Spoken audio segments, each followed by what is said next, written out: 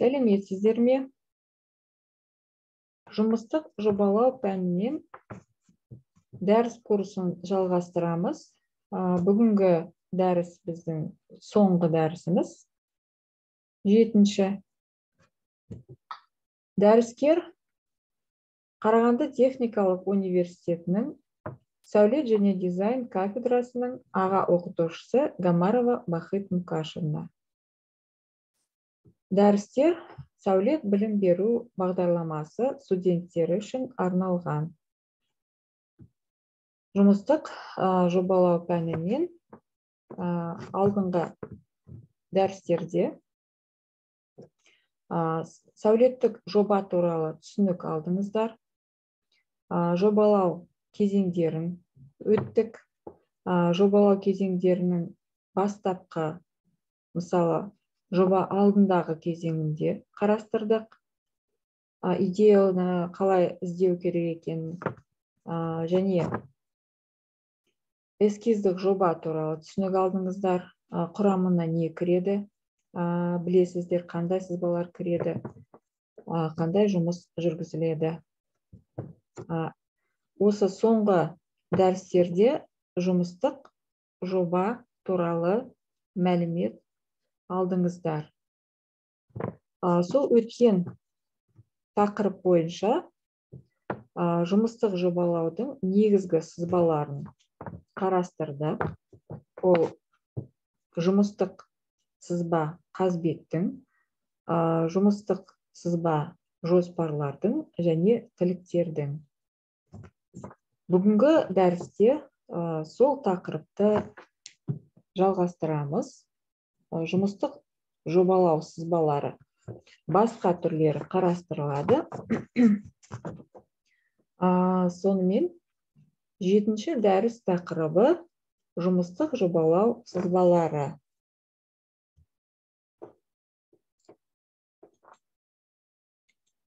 Дәріс жоспары бойынша бірінші жұмыс сызбаларындағы терезе ойықтарының схемалары. Екінші жұмыс сызбаларындағы еден түрлерінің ведомысы ішкі жайларды әрлеу ведомысы үшінші сәулет тораптары мен сәулет бұйымдарының альбомдары. Айта кету керек сәулеттік шешімдерден басқа мысалы жұмыстық сызбаларда жұмыстық жобалауда тағы да бөлек альбомдар дайындалады. Ол сәулеттік түйіндер альбомы сол сәулеттік тораптар және сәулеттік бұйымдар альбомы. Оны біз әрі қарата дәрісте қарастырамыз. Дәріс мақсаты жұмыс сызбаларындағы терезе схемаларын еден түрлерінің ведомосын ішкі жайларды әрлеу ведомосын қандай түрде орындау керек екенін түсіну білу. Сәулет тораптары мен сәулет бұйымдарының альбомдары туралы мәлімет алу. Бірінші. Жұмыс сызбаларындағы терезе ойықтарының схемалары. Мемлекеттік стандарттар бойынша сәулеттік жұмыс сызбаларының қалай орындалатынын мемлекеттік стандарттар сол сызбаларды қалай орындалатынын көрсетеді. Сызбаларды рәсімдеу стандарттарға сәйкес орындалады. Сол стандарттар бойынша орындалған сызбалар мысалы жобала жоба мен айналысатын мекемелерде норма контроль деген бар. Сол норма контрольмен айналысатын мысалы қызметкер әрбір альбомдарды тексеріп сызбаларды орындалуын қарайды. Стандарт бойынша орындалуын бақылайды. Қазбеттерде қолданылады және көрсетіледі. Қазбеттерге тән жерлерден өтетін ғимараттың немесе үймереттің координациялық осьтері мысалы шеткі деформациялық жіктердің жанында жоспардағы кертпештер биіктердің ауытқуы сол ауытқу орындары да көрсетіледі. Жер деңгейінің кіру алаңдарының қабырғалардың жоғарғы жағының ойықтардың төменгі және жоғарғы жақтарының және қазбеттер элементтерінің әртүрлі деңгейлерінде орналасқан белгілер. Мысалы күнқағарлар шығарылатын тамбурлар ойықтардың үстің, астыңғы жағы мен үстіңгі белгілеуді тіліктерде көрсетуге жол беріледі. Тіліктерді өткен сабақта қарастырғанбыз сонда қалай қойылатын белгілеудің қалай қойылатынын көргенсіздер жоспарлар мен тіліктерде көрсетілмеген ойықтар мен тесіктердің деңгей белгілері өлшемдері және байланыстырылуы терезе ойықтарын толтыру түрлері егер олар қабырға құрастырмалы конструкция элементтерінің құрамына кірмесе терезе ойықтарын толтыру түрлерін қабат жоспарларында көрсетуге де жол беріледі. Терезе ойықтарын толтыру түрлерінің белгілері ок әріптік белгілеуінен және осы белгілеудің шегіндегі реттік нөмірден тұрады. Мысалы бірнеше типті терезелер болса соны реттік нөмірмен қояды. Мысалы ок бір ок екі және тағы да басқа. Қазбеттердегі сыртқы балконды әйнектеу оның конструкциясын жеке құжаттамада әзірлеу үшін жеткілікті жеңілдетілген түрде көрсетеді. Қалған бөліктерден ерекшеленетін басым қабырғалардың жекелеген бөліктерін әрлеу түрлері сызық сөлелерінде шығару сыртқы өрт және эвакуациялық сатылар галереялардың жанасуы қазбеттердің фрагменттері мен түйіндерін белгілеу. Қазбеттер бейнеленген парақта қажет болған жағдайда қазбеттерді пішінмен аяқтау туралы есеп беріледі. Бұл жағдайда қазбеттің кескенінен тыс диаметрі алтыдан сегіз метрге дейінгі шеңберлерде қазбетті әрлеу түрлерінің нөмірлері қолданылады. Және осы шеңберлерден қазбеттің тиісті бөліктеріне апаратын сызықтар жасалады. Терезе мысалы не үшін қазбеттер туралы ә, толықтырып өткен тақырыпты толықтырып айтып жатырмыз. Өйткені сол қазбеттерде терезе ойықтарының белгілері де қойылады.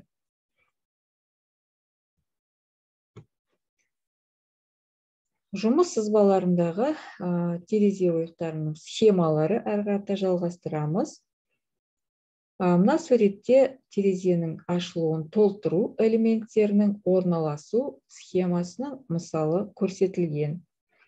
Мына жерде үстіңгі жағында сол ок екі деп атау көрсетілген. Ә, бұл марка маркировка.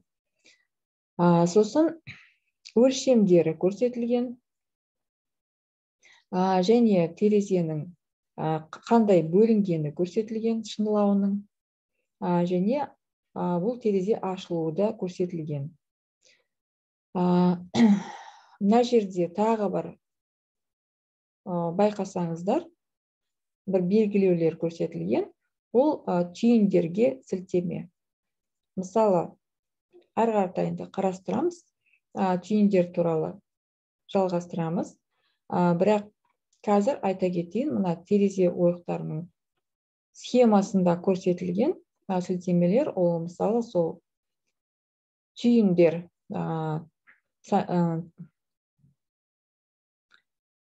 сәулеттік тораптар түйіндер деп айтуға да болады иә? Соның альбомына сілтеме мына астыңғы жағында қандай альбом екені көрсетілген. Және үстінде жаңағы сызбаның нөмірі көрсетілген.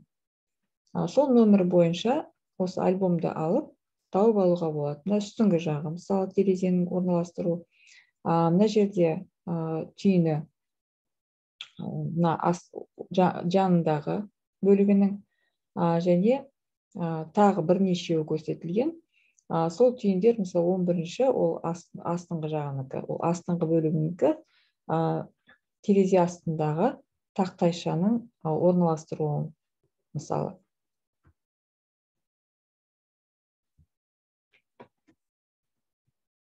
Саңылаулардың толтыру элементтерінің сипаттамасын орындау мысалы осында көрсетілген осы слайдта.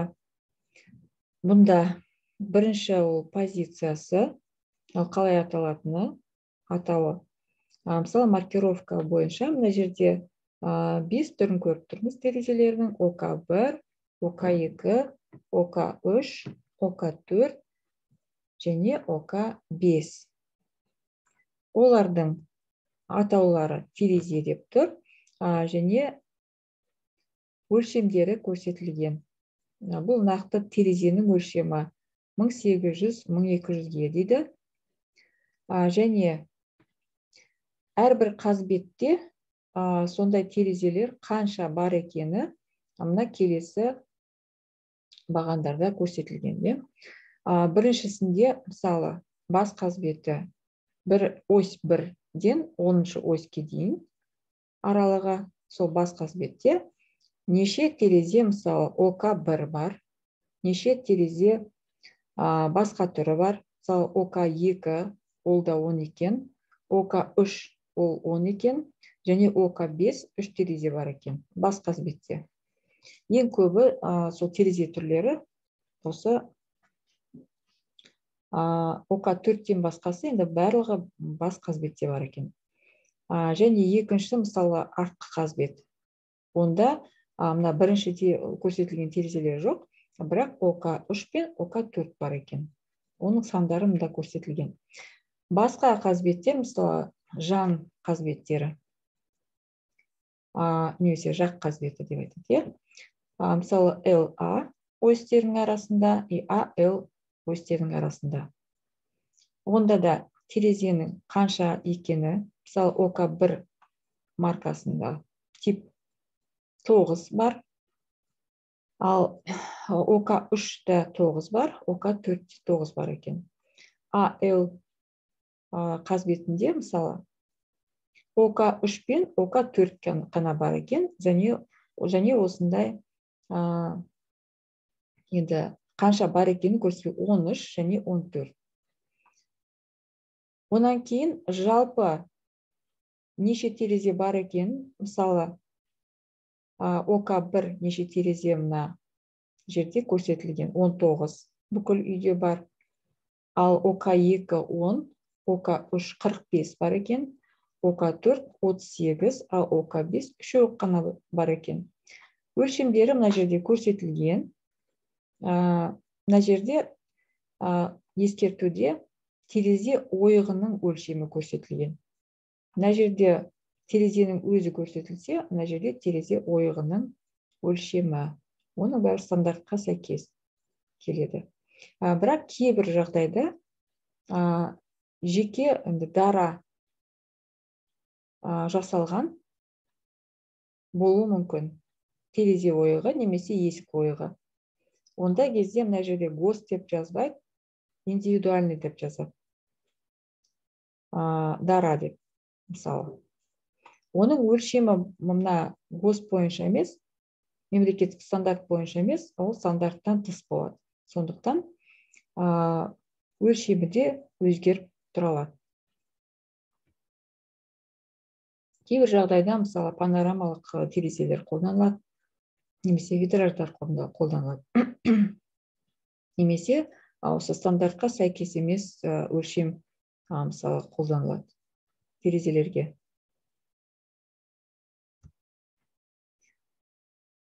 Есіктер ойығы есіктер блоктары мысалы орындалу мына жерде бір екі үш төрт бес деп. Онда бес түрі бар екен. Мысалы ә, терезе о есік ойықтары ол д бір д екі д үш д төрт деп те қойылады иә. Сондықтан ә, бұл да ә, мемлекеттік стандарттар бойынша мына жерде.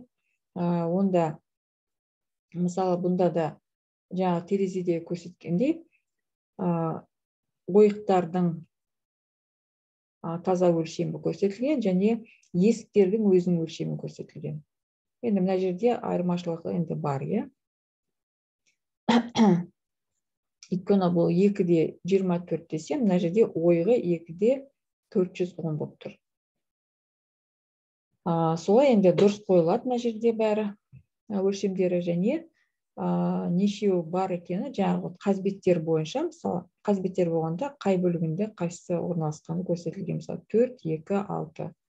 Мынандай түрдегі мысалы алтау бар а, мынадай түрдегі біреу ғана есік бар мынадай түрдегі сегіз ә, и так далее. Мына жерде қақпа да бар. Қақпа ол мысалы біреу ғана және үште алты үште алтыға жасалған екі қақпа бар екен.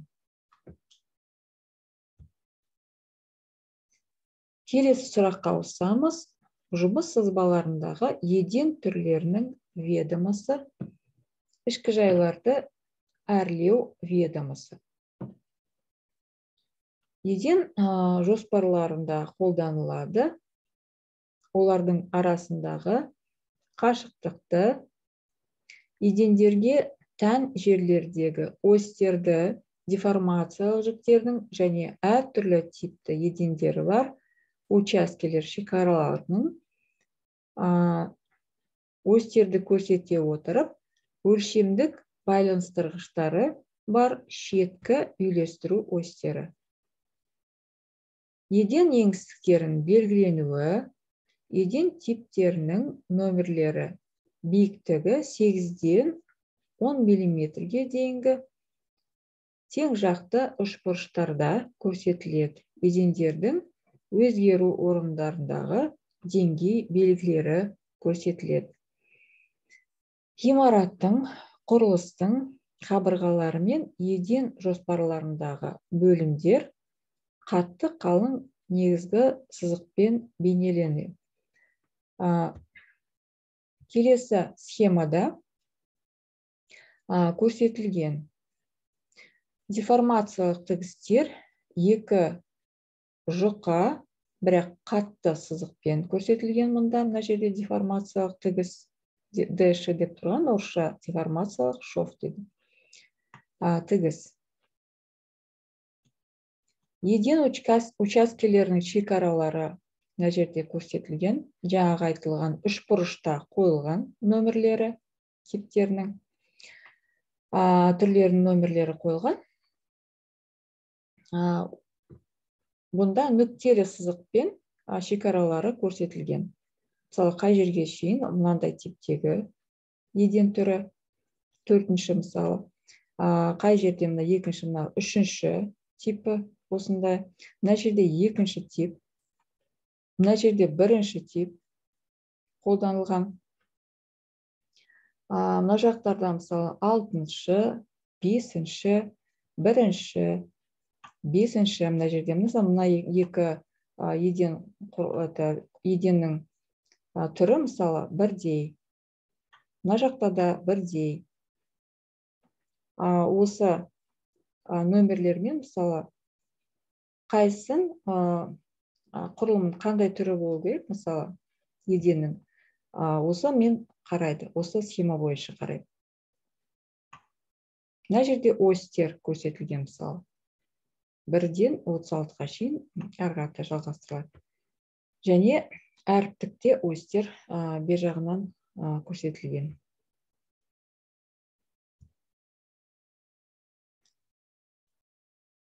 Еденнің экспликациясы. Еден жоспарларына осы форма бойынша экспликация жасалады. Ол ә, мемлекеттік стандартқа сәйкес мына жасалған. Көріп тұрсыздар ә, нөмір ең біріншісі еден экспликациясында үй жайдың нөмірі көрсетілген. Ә, бұл бағанда ә, атауы немесе нөмірі көрсетіледі. Екінші ол еден түрі.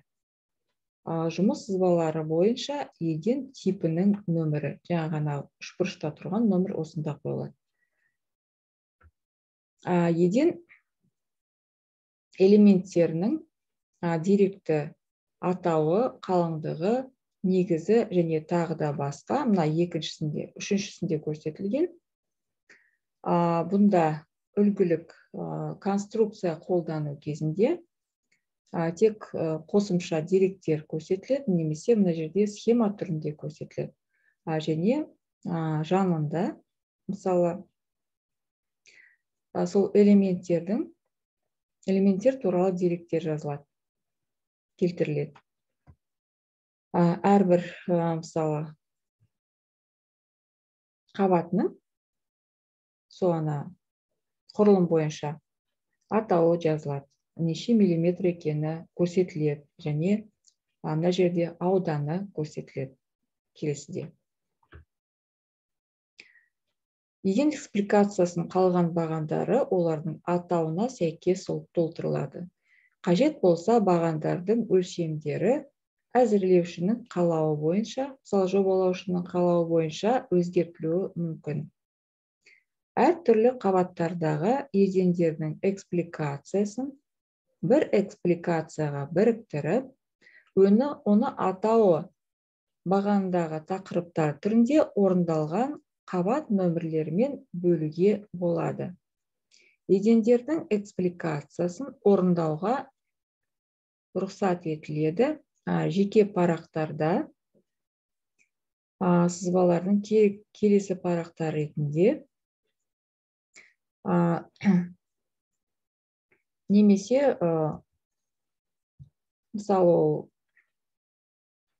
шағын нысан болса жеке тұрғын үй мысалы иә онда қазбеттерді әрлеу тіземесімен бірге немесе үй жайлардың тіземесімен әрлеу әрлеу тіземесімен бірге еден тіземесі бір парақта болуы мүмкін.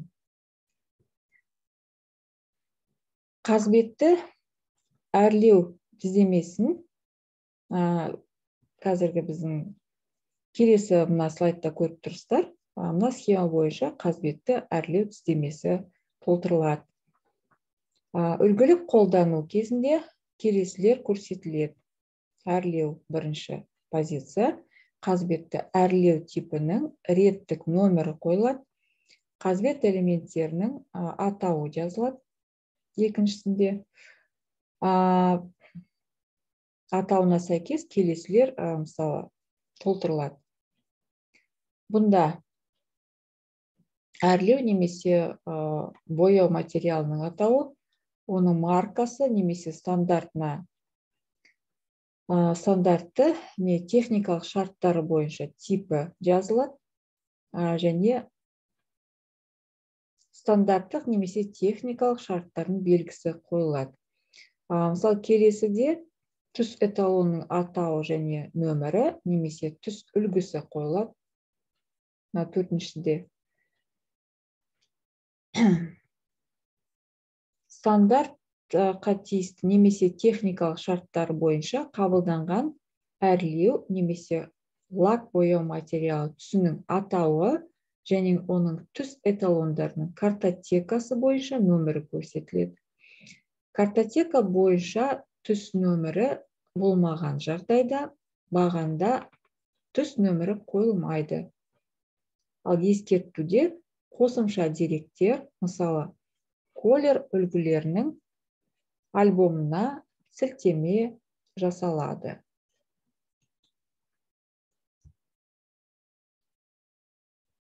Мына жерде сол қазбеттерді әрлеу тіземесі үлгісі көрсетілген. Бұл жеке тұрғын үйдікі болғаннан кейін бірінші қабат көрсетілген. Бұл бірінші қабатта мысалы кішкене өзгертіліп көрсетілген. Жаңағы таблицамыз. Бірақ бұнда да сол толтыру көрсетілген. Бұнда мысалы бағаналар жоқ. Тек қана қабырғаның және төбенің әрлеуі көрсетілген. Мына жерде нөмірлер қойылған. Ана қайда неше мысалы неше ішкі жайда бөлмелерде мысалы және ол бөлмелердің нөмірлері көрсетіліп тұр мұнда. Осындай қабырға қолданғаны мысалы көрсетілген және оның ауданы берілген. Мысалы осы бөлмелерде осындай бірдей төбенің әрлеуі көрсетілген оның да жалпы ауданы берілген. А бұл не үшін керек? Өйткені материал қанша керек екенін осымен есептейді осы аудандармен қарап. Және мына жерде мысалы басқа материалдар қолданғаны көрсетілген. Мына жерде төбеде де мысалы қандай материал? Бұл төбеде мысалы бірдей болып тұр. Бәрінікі бірдей төбе әрлеуі. Ал қабырғалар бөлек. Бұл қабырғаны мысалы керамикалық плитка деп тұр. Ол білесіңдер ол мысалы тұрғын үйлерде нақты қай жерде қолданылады? Керамикалық плиткаларды тақтайшаларды. Ванный комната ванный бөлмелесінде бөлмесінде немесе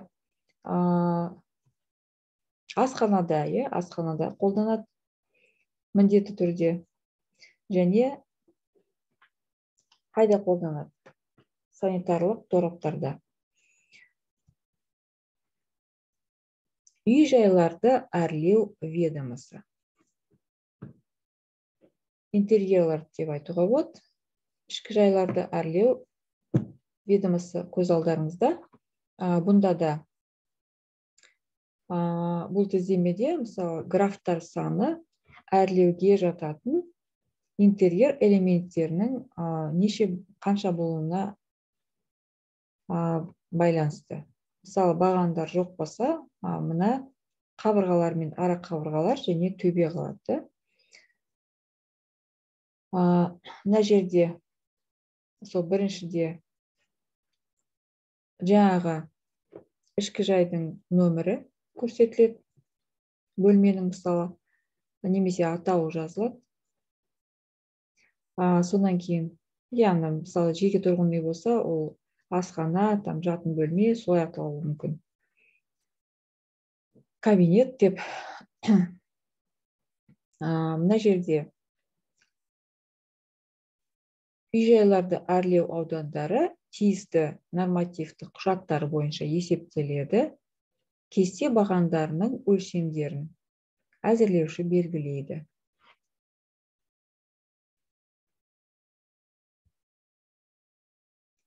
Келесі слайдта енді осы сәулет тораптары мен сәулет бұйымдарының альбомдары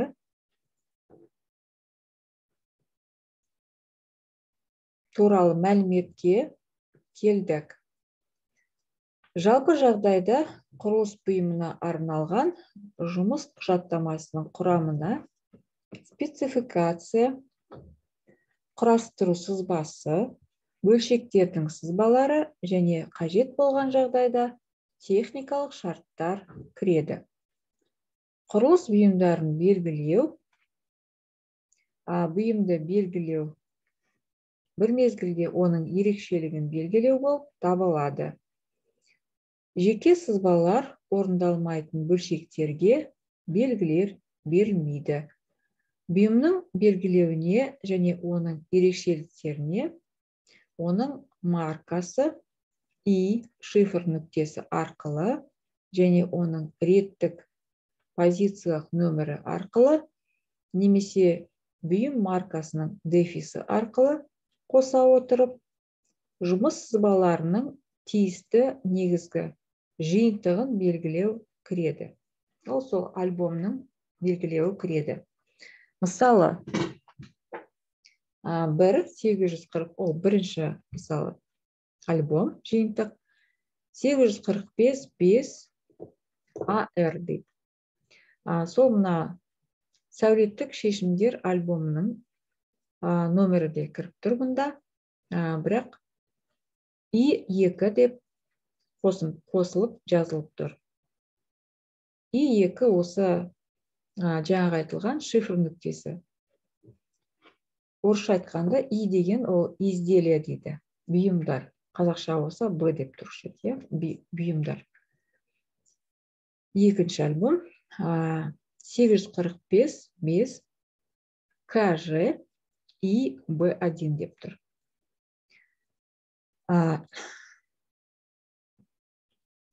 мысалы мына кж деген ол конструкция железобетонный деп орысша айтылған көбінесе құжаттама орысша беріледі ғой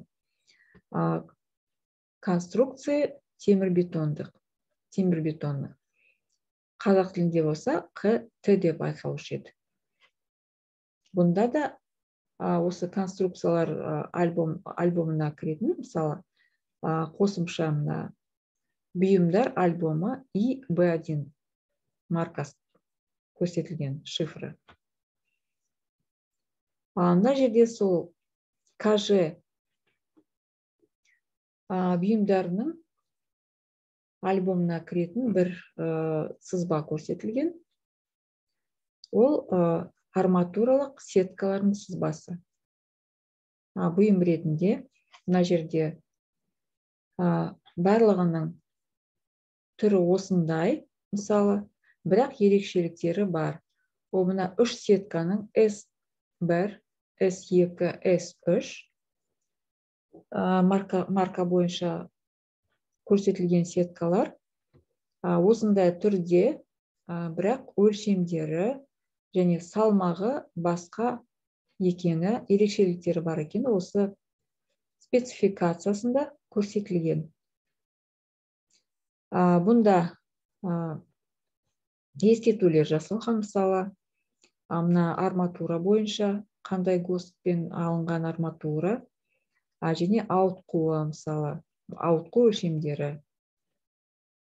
Мына жерде астыңғы жағында штамп көрсетілген. Және штампта қандай сеткалар екен атауы көрсетілген қандай альбом сілтеме және мына жерде енді жазылу керек кім орындағаны. И так далее. Мынау қай бет екен мынау бірінші бет. Келесі сәулеттік тораптар туралы айтайық иә. Сәулеттік тораптар альбомында титульниктан басқа мысалы бірінші беттен басқа тізімдері бар. Мысалы мына жерде бірінші және екінші бет көрсетілген. Бұның да маркировкасы бар және бұл қандай бет екені мына жерде бұнда не бар екені осында жазылған атауы және кім оны орындаған кім тексерді осының бәрі жазылады. Бұл жерде қай мекеменікі екені мына жерде. Мысалы осы тізімдемемен қарасақ бірінші торап бірінші түйін деп айтуға да болады. Ол мысалы орысша жазылып тұр мында қазақша айтамын. Тамбур кіреберісінің төбесін төбесінің құрылуы мына жерде бірінші және екінші тамбурлар мына екіншісіде де сол тамбурдың екіншісі көрсетілген. Мысалы үшіншісінде төбенің қалқасы туралы қалқасының құрылымы туралы көрсетілген мәлімет берілген және көрсетілген. Осылай қанша бет екені мына жерде көрініп тұр. Мысалы мына жерде қырық жеті бет бұдан да көп болуы мүмкін. Қанша мысалы сәулеттік тораптар сызбасы жасалса қажетті. Соншама беттер осында тізбектеліп көрсетіледі. Мысалы ана сілтемелерге қарасақ оның алдындағы терезелердің мысалы сілтемелерді осы альбомға кіріп мына жерде ана он төрт деп тұрса сол значит он төртіншіні тауып аламыз мына он төртінші. Отыз екі деп тұрса отыз екіні тауып аламыз. Сосын оны ашамыз. Мысалы мына бірінші екінші көрсетілген сәулеттік тораптарды қарасақ вот келесі ә, слайдта көрсетілген мысалдары. Ә, жаңағы бірінші торап ә, бұнда кескіні көрсетілген өлшемдері тұр. Және қандай материалдар екені көрсетілген. Мына жерде де өлшемдері көрсетілген. Бұнда мысалы металл қаншама қолданылған қандай жабыны қолданған және құрылымында қандай материалдар бар екені көрсетілген. Мына жерде де бұнда толықтай мысалы жабынның құрылымы көрсетілген. Мына астыңғы плитадан жабын плитасынан бастап жоғары немен жабылғаны қабат қабат болып көрсетілген мысалы. Өлшемдері қойылған деңгейі қойылған қандай деңгейде мысалы немен әрленгені көрсетілген. Қандай бұйымдар элементтары бар осында көрсетіледі. Бұл не үшін керек? Ол құрылысшыларға қосымша сызбалар құрылыста өте пайдалы болады қалай құру керек екенін мысалы осы сызбаларға қарап жасайды. Және қандай бұйымдар керек екенін мысалы ол бұйымдарға тапсырыс беру керек қой. Сол тапсырыс беру үшін де жасалады. Мына жерде мысалы сол басқа жағынан көрсетілген түйін бұнда да толықтай керек материал керек мәліметтер берілген.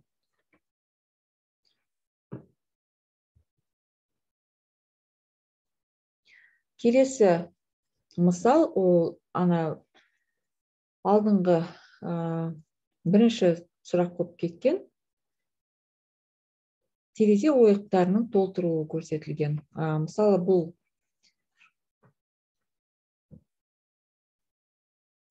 ірілеу нысан ол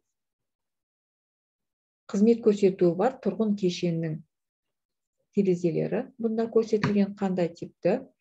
Және бұнда көріп тұрсыздар графалар көп просто әрбір қабат бойынша неше бар екені көрсетілген бұнда. А, және а, бұнда да тура солай толтырылған гост бойынша. А, бірақ схемада мына жерде көріп тұрсаңыздар бірнеше өлшемі бар иә. Ол терезе ойығының өлшемі және терезенің блок терезенің өзінің өлшемі бар. А, сосын маркировкалар көрсетілген ок бір екі и так далее. Тағы да басқалар мына төрт там ок жеті бұнда ок сегізге дейін енді бұнда а, терезе түрлері көп. Өйткені кешен а, кешенде мысалы сызбалар күрделілеу. Бұл жеке тұрғын үй емес бұл он алты жеті тоғыз қабатты бөліктері бар тұрғын кешен. Бұл қарағанды қаласында салынған кешен. Және бұл сызбалар сонда қолданылған. Мысалы мына жерде пункттермен қойылған ол қалай терезе ашылады? Мысалы мына жерде екі терезе екі, екі жағы да ашылады мына жерде ортасы ғана ашылады мына жерде балконның есіктері ғана ашылады мысалы. Мына жерде де екі, екі жағынан ашылады. Бір терезеде мысалы жартылай жалюзимен жабылған. Бірақ екі жаққа ашылады ол. Оның бұл терезе түрлері мысалы қаншасы бар қай қабатта осында көрсетілген және жалпы саны да көрсетілген. Бұл не үшін керек? Тапсырушыларға қандай типті терезелер бар және нешеуі керек? Сол сондай мәлімет үшін беріледі мысалы. Және құрылысшыларға да? Бұл сызбалар керек. Бұнда да ескертулер жазылады және штамп толтырылады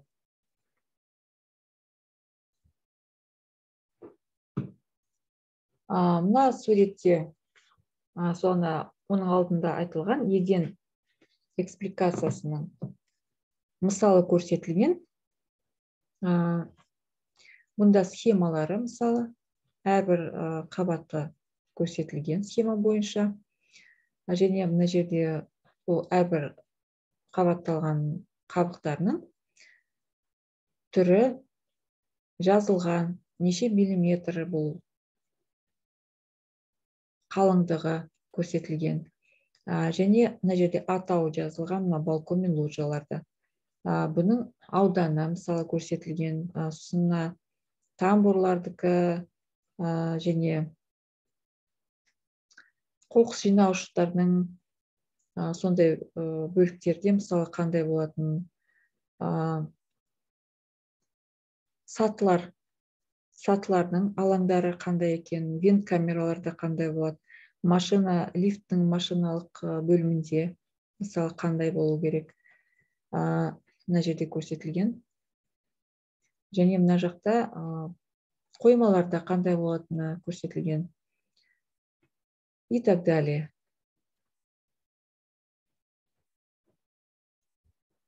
Осындай экспликациялар енді мына жерде кішкене басқаша тұр но бірақ бұнда да басқа бөлмелер мысалы кешен тұрғын кешен қызмет көрсету бар ол. Күрделеу болғаннан кейін онда пол мына мысалы еден типтері де көп. Өйткені нысан ірі ірілеу. Және ведомостары да басқаша. То есть бұнда да ана терезелерде ойықтары әртүрлі. Және бұдан басқа витраждар да бар. Мына витраждарды қазір көрсетіп жатқан жоқпыз бірақ витраж схемаларды бөлек жасалады. Қорытынды ретінде ә, сабағымыз енді аяқталуға тақады. Ә, айтайық дәрісте жұмыс сызбаларының бірнеше түрі терезе схемалары еден түрлері ведомосы ішкі жайларды әрлеу ведомосы қарастырылды. Сәулет тораптары мен сәулет бұйымдарының альбомдары туралы түсініктеме берілді. Дәріс мақсатына жетті деп санаймыз. Бақылау сұрақтары көз алдарыңызда. Бірінші жұмыстық жобада терезе есік ойықтарының схемалары және спецификациясы қалай орындалады? Екінші сұрақ сәулет тораптары мен сәулет бұйымдары альбомдарының құрамына не кіреді? Осы сұрақтарға жауап бересіздер жазбаша түрде. Тимсқа жүктеп сөз тапсырмасы бойынша айтсақ жұмыс сызбалары мен жұмыс сызбалары тақырыбына графикалық материал дайындау. Ол графикалық материалды курстық жұмыста бекітілген нысанға курстық жұмысты біраз уже аяқтауға тақап қалдыңыздар. Сонда осы тақырып бойынша сол бекітілген нысанға терезе ойықтарының ескі ойықтарының схемасын және спецификациясын орындау керек. Және бір немесе екі сәулет тораптары немесе сәулет бұйымдары сызбасын көрсету керек жасап. Негізі алдыңғы тақырыптар алдыңғы лекцияда да айтқандай бізде материалдар әдістемелік бес универда жүктелген. Осыменен ұсынылған әдебиет тізімі көз алдарыңызда. Назарларыңызға рахмет. Ә, осы дәрістерде алған білімді ә, болашақ мамандар маман болғанда қолдана аласыздар деп үміттенемін және ә, оқу оқу жобаларында да ә, қолдану ұсынылады. Сонымен келесі жүздескенше практикалық сабақта сау болыңыздар. Өйткені дәрістер бізде бітті енді практикалық сабақ қана қалды соңғы. Сау болыңыздар.